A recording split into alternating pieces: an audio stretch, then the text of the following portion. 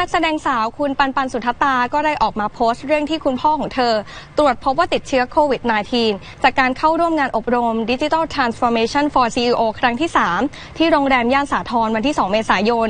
โดยนักแสดงสาวก็ได้เปิดเผยไทม์ไลน์ของคุณพ่อนะคะ ตั้งแต่วันที่ 28 มีนาคมจนถึง 7 เมษายนให้เป็นข้อมูล ขณะที่ตัวคุณปันปันเอง หลังจากที่เธอทราบว่าคุณพ่อติดโควิด -19 ก็รีบไปตรวจหาเชื้อที่โรงพยาบาลทันที เบื้องต้นผลออกมาแล้วว่าเป็นลบ ไม่ติดเชื้อนะคะ แต่เธอก็จะกักตัวต่อให้ครบ 14 วันตามกำหนดอย่างเคร่งครัดค่ะ